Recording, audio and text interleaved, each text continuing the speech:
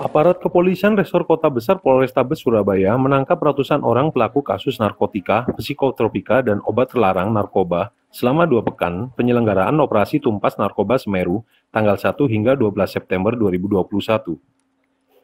Kepala Polrestabes Kapolrestabes Surabaya, Komisaris Besar Polisi Kombes Pol Ahmad Yusef Gunawan di Surabaya, Jumat 24 September menyatakan telah menetapkan sebanyak 120 tersangka terdiri dari 117 orang laki-laki dan tiga perempuan yang masing-masing berperan sebagai pemakai maupun pengedar.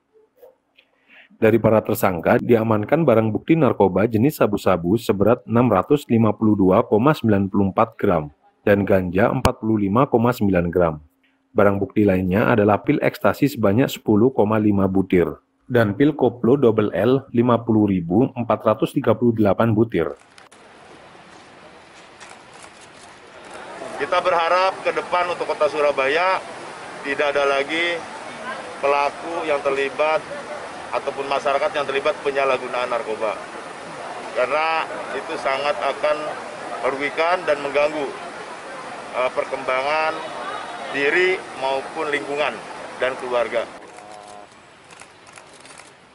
Menurut Kapolrestabes Yusef, berdasarkan jumlah tersangka dari hasil operasi tumpas narkoba Semeru yang berlangsung selama dua pekan itu menunjukkan bahwa peredaran dan penyalahgunaan narkoba di wilayah kota Surabaya terbilang masih sangat tinggi. Dalam waktu dekat, Polrestabes Surabaya akan menentukan titik-titik untuk program Zero Narkoba, minimal satu kelurahan di tiap kecamatan, yang diharapkan mendapat dukungan masyarakat agar program tersebut berjalan dengan baik demi menyelamatkan anak-anak bangsa dari ancaman penyalahgunaan narkoba.